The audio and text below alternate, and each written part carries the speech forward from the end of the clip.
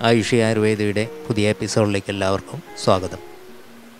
മഴക്കാലം വന്നെത്തിക്കഴിഞ്ഞു. കർക്കടക മാസം വരാറായി.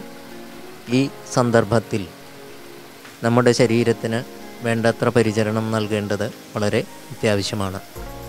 വർഷ ഋതുവിൽ അല്ലെങ്കിൽ മഴക്കാലത്ത് നമ്മുടെ ശരീരത്തിന് എന്താണ് സംഭവിക്കുന്നത് എന്ന് മുൻ എപ്പിസോഡുകളിൽ പറഞ്ഞിട്ടുള്ളതാണ്.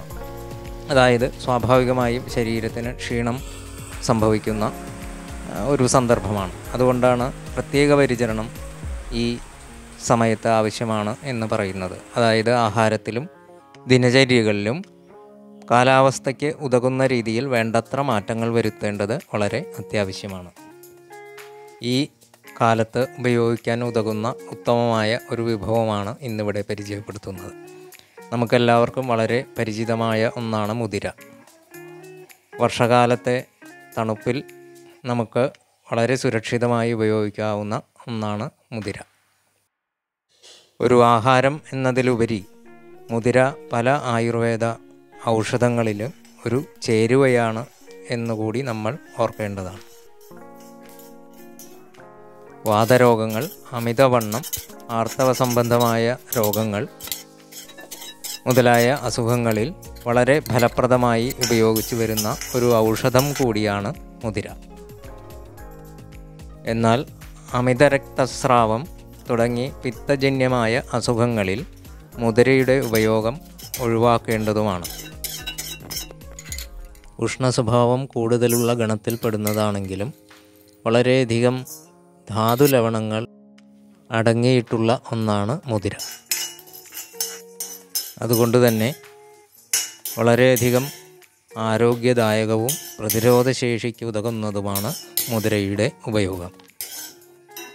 മുതിരയുടെ ഉഷ്ണ സ്വഭാവം അത് ബാലൻസ് ചെയ്യാൻ ഏറ്റവും ഉതകുന്ന കാലാവസ്ഥയാണ് വർഷകാലം. മുതിര ഉപയോഗിച്ചുള്ള എല്ലാ വിഭവങ്ങളിലും അതിൽ ചേർക്കുന്ന എരിവും മറ്റും വളരെ മിതമായ രീതിയിൽ ഉപയോഗിക്കാൻ പ്രത്യേകം ശ്രദ്ധിക്കേണ്ടതാണ്. എല്ലാവർക്കും ആരോഗ്യകരമായ ഒരു ദിവസം ആശംസിക്കുന്നു. നന്ദി നമസ്കാരം.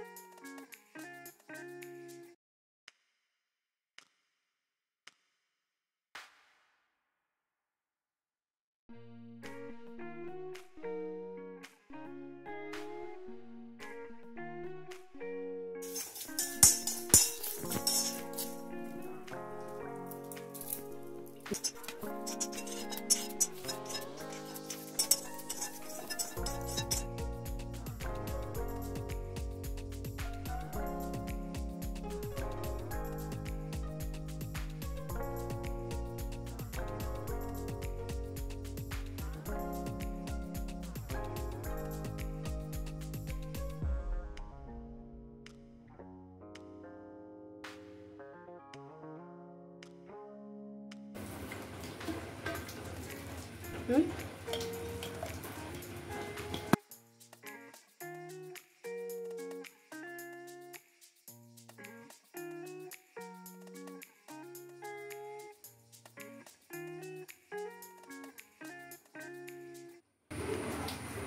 왜?